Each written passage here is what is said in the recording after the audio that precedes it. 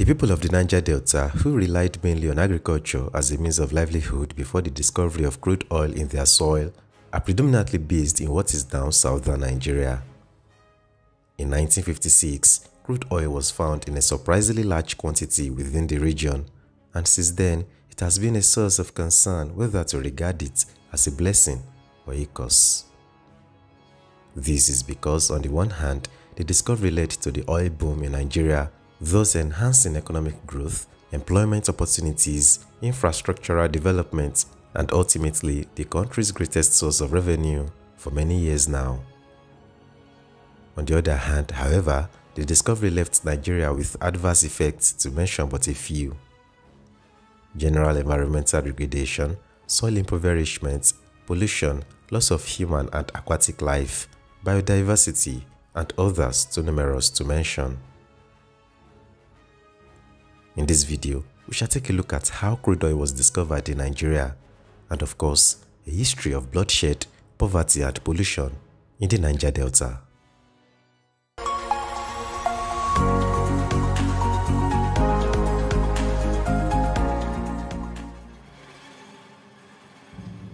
As earlier stated, agriculture was the major source of Nigeria's foreign exchange earnings through the exportation of cash crops such as rubber from the southern region, groundnuts, hide and skin from the north, cocoa and coffee from the west, and palm kernels from the eastern region of the country.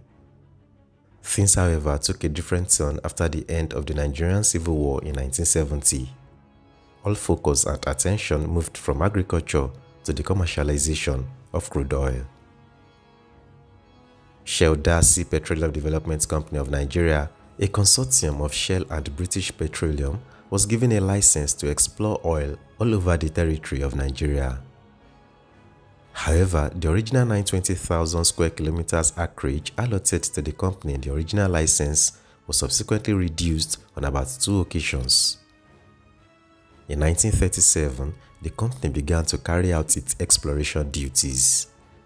Shell BP, in the pursuit of commercially available petroleum, began production in 1958 and were soon joined by a host of other foreign oil companies Mobil Oil, Chevron, Agip Oil, Elf, Gulf Oil, and Texaco in the 1960s after Nigeria gained its independence.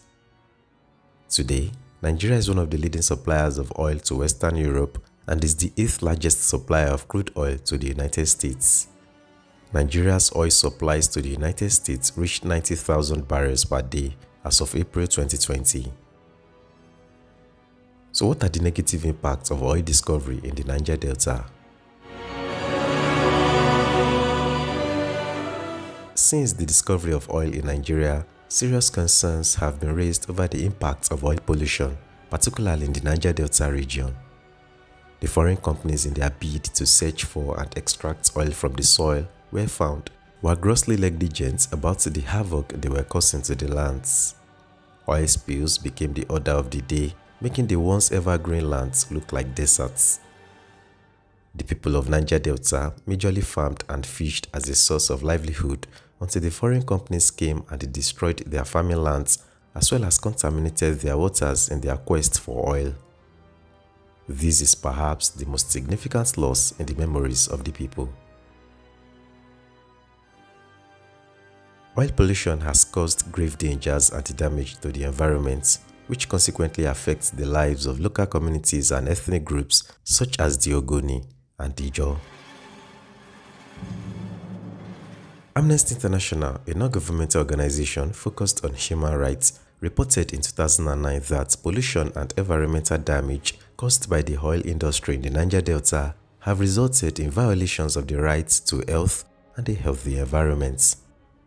The right to an adequate standard of living, including the rights to food and water, and the right to gain a living through work for hundreds of thousands of people. Nigeria's own National Oil Spill Detection and Response Agency, NOSDRA, recorded 3,203 oil spills in the Niger Delta region between 2006 and 2010.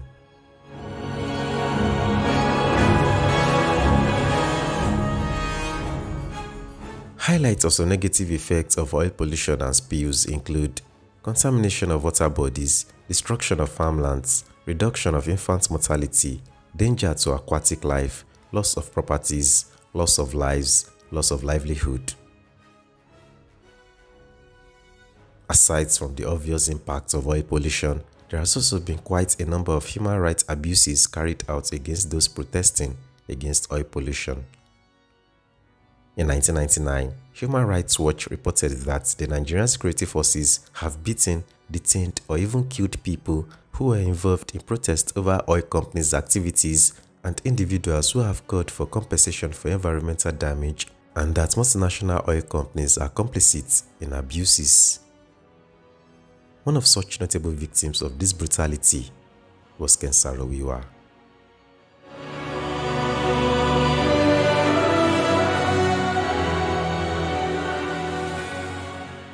Kenule Beeson, popularly known as Ken Saro-Wiwa, was a well-known Nigerian author and television producer, but the position most associated with him was his role as president of the Movement for the Survival of Ogoni People, MOSOP an organization set up to defend the environmental and human rights of the Ogoni people who live in the Niger Delta.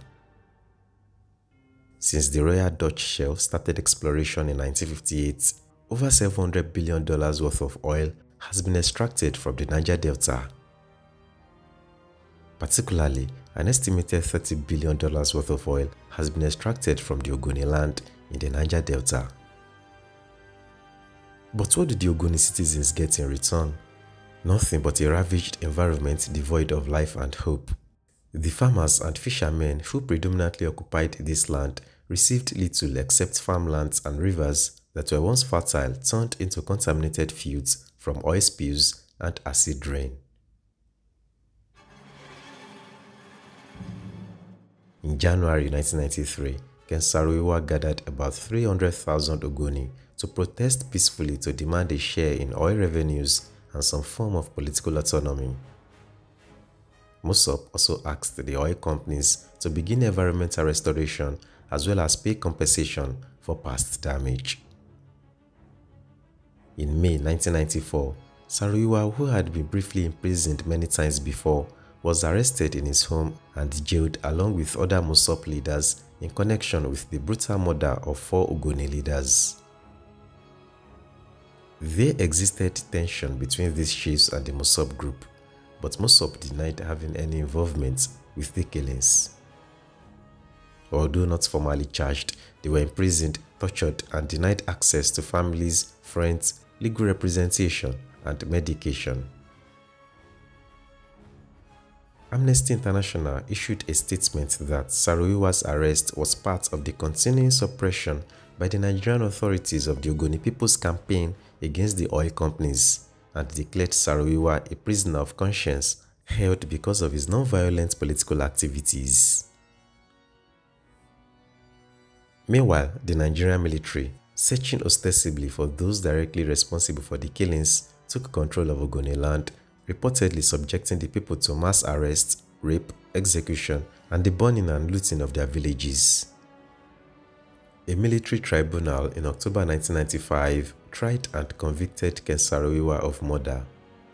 Governments and citizens organizations worldwide condemned the trial as fraudulent and urged the General Sani Abacha-led federal military government to spare Saro-Wiwa's life. They also called upon Shell to intervene, but it could not get involved in the legal process in Nigeria. The company issued a statement in response to the confirmation of the death sentences which acknowledged that a letter had been sent to Abacha asking for clemency. On November 10, 1995, Saro-Wiwa and his eight co-defendants were hanged despite international appeals for leniency. There was international condemnation and outrage against both the military and Shell. The only crime Saro-Wiwa and his colleagues had committed was to demand sound environmental practices and to ask for compensation as well as restoration for the destruction of Ogoni territories. The Ogoni cause has since been upheld by other Ogoni people living in exile with the late Ken Saro-Wiwa's family at the forefront.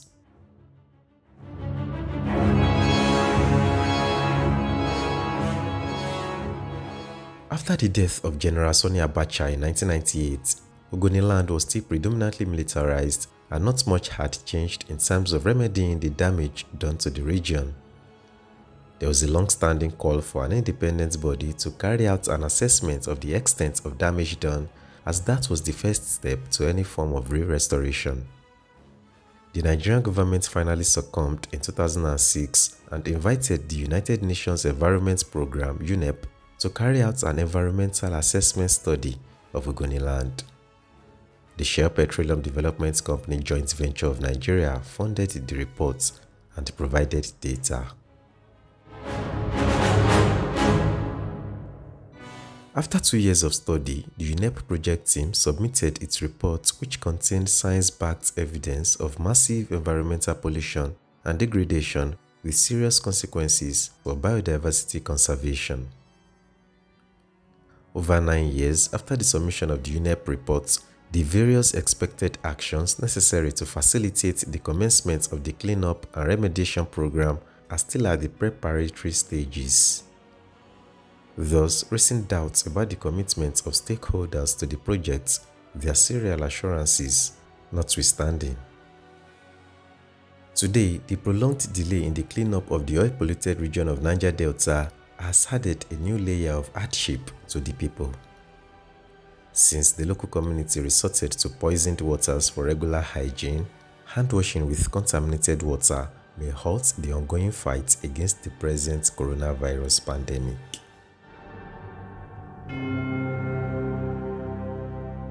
So, has Nigeria's oil been a blessing or a curse? Let us know in the comments. Would you like to know more about Ken Saro Wiwa? Do check out our next video.